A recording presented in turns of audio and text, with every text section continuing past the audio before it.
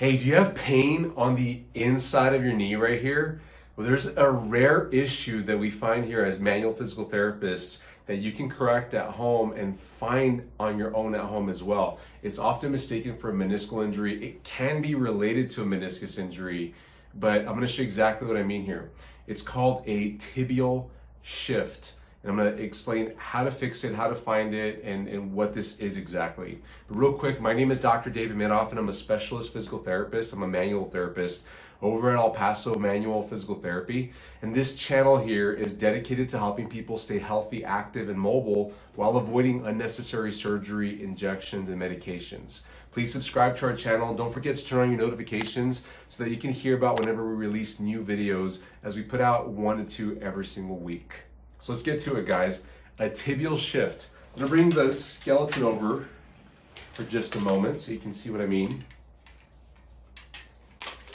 What the tibia is, here's the thigh bone, this is, the femur, and this is the tibia, the shin bone. You have a little bone on the outside called the fibula, but we're talking about the femur and the tibia joints, the, the big part of the knee joints.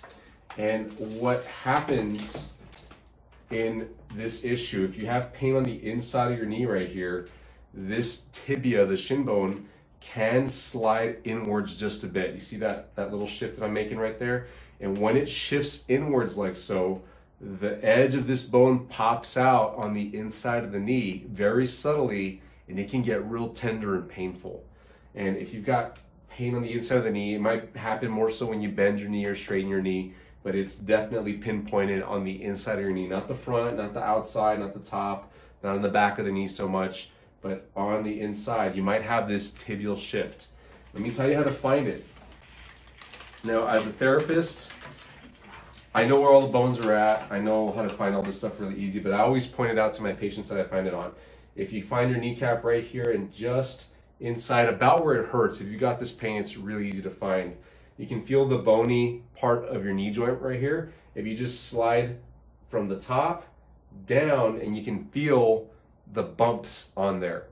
If you compare that to the other side, and if on your painful side it's a little bit tender, and where it pokes, pokes out the most, if you just rub it a bit, if you dig in there, gently of course, and press on the area and you find that it's tender, then you might have that tibial shift. So go ahead and do it on yourself. You might use your thumbs or your fingers, whatever you feel you need, but do both at the same time, just like she's doing, and slide downwards and inwards to where, where the bones are. You, you only have to span about this distance right here.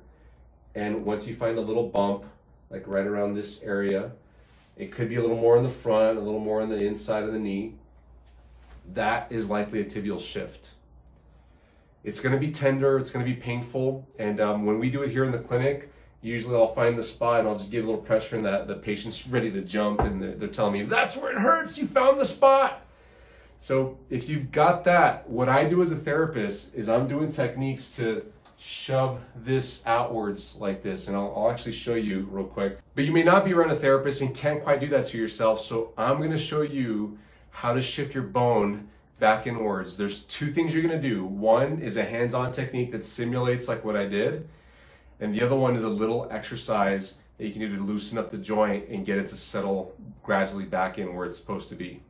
Now, before I show you that, I just want to explain a little bit about the harm in leading your knee joint like this. It's, it's actually an alignment issue.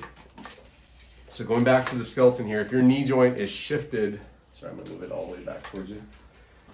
If your knee joint is shifted like that, how I was showing you, the meniscus, which is a big, huge chunk of cartilage that sits right here, gets compressed awkwardly. The cartilage behind the kneecap on the thigh bone also gets shifted over along with the bottom, uh, with, the, with the tibia, with the shin bone.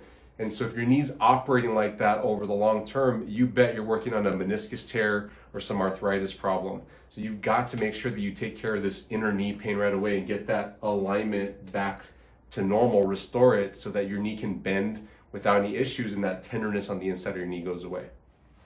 Here's how you're gonna do the exercise to shift your shin bone back outwards. Let's pretend she's got the issue right here. What you're gonna do is with your right hand, make a C shape with your hand, and this part of your hand is gonna go right below where it's tender. So usually it's about right in this area. So go ahead and put your hand about right there. Your other hand's gonna come on the outside of your thigh and your, your knee, and you're gonna have to lean your body as close as you can to your leg and push against each other. So you're shifting your knee over. And as best as you can, keep the body weight through your leg as relaxed as possible. You're just trying to generate a bunch of force through your arms and make it comfortable. You can spread out the force through your hands. You can get your hands a little flatter. Um, and you're going to do this for about 20, 30 seconds or so. You could do it more than that. It generally doesn't hurt you to do it more. But I found that you get diminishing returns after about 20 to 30 seconds. And um, this, the exercise I'm going to show you next is what needs to happen along with this to get you the long-lasting effect. There you go. And you're pushing as hard as you can. You're really getting in there and trying to get that to shift over. Be careful not to press on the tender spot. You're going to be right below it. And then if you're if this is bothering you on the outside, just get your palm a little flatter against your thigh. And same down here, you're able to get your palm closer to your calf. Yeah, like that. That's probably a bit more comfortable for you. Good, so after you've done that for about 20 or 30 seconds, then here's the exercise you're gonna do. I'm gonna stand up so I can show you. You're gonna turn your foot all the way inwards, straighten out your leg just a bit, yep, and then you're gonna scoop towards you and bend your leg as much as it will go under the seat. If your chair blocks it, that's cool. Just stop where, where you, as far as you can go, and then start over again. Scoop your foot inwards and drag your foot towards your seat. And you're gonna do 20 to 30 reps like that. There you go. So just keep going here as I'm explaining a couple things. Doing this motion forces you to fire certain muscles in your thigh, one of the hamstring muscles and some of the groin muscles that help to get the alignment more stabilized within your knee joints. Now, this is a beginner exercise. This is not one that you're going to be doing long term. Usually, the root of this knee alignment issue is some foot weakness or some hip weakness that's translating down to the down to the knee doing this exercise along with that shift on yourself just helps to get the alignment right. Once the knee alignment is restored, you feel like your knee pain's gone away on the inside of the knee, then it's important to get over to some glute exercises, maybe some calf and foot exercises, and make sure that you're moving better when you're walking and when you're exercising. Typically, a knee alignment issue like this, if it's happened recently, if you started to get that pain, say within the past few weeks, you should be over this within a month tops if you've had that inner knee pain for several months, a year or more, then doing this exercise might be the case for you. You might need to be doing this exercise for many months, maybe even a year or more to get that to diminish down.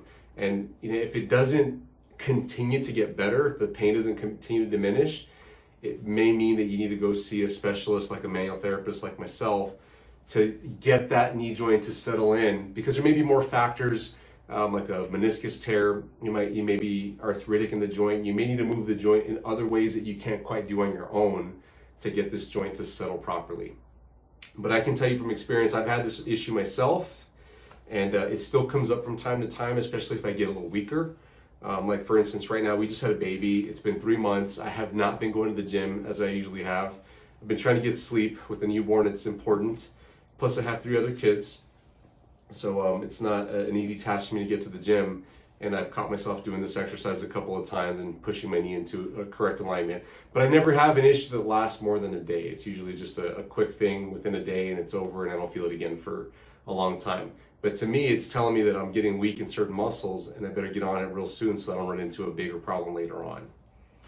So um, as far as how often to do this exercise, I would do this exercise every two hours, maybe even every hour. 20 or 30 reps shouldn't take you more than a few minutes. And it shouldn't be super tiring. If anything, you'll feel like the inner thigh work, the, the hamstring, the inner hamstring might get a little bit tired, but it shouldn't be anything that tires you out so much that you're sweating or getting a huge workout. Can stop. So guys, I hope this video was helpful for you. If you've got that inner knee pain and you try this out on your own and you had a success, or if you're having trouble with it, drop a comment, let us know so we can get back to you as fast as possible. And want to know if you if you were successful too, so that you can keep your meniscus healthy and your cartilage healthy. Give us a like as well, and don't forget to subscribe and hit that notification bell so that you can get notified whenever we put out our brand new videos every week. Have a wonderful day, guys. Bye bye.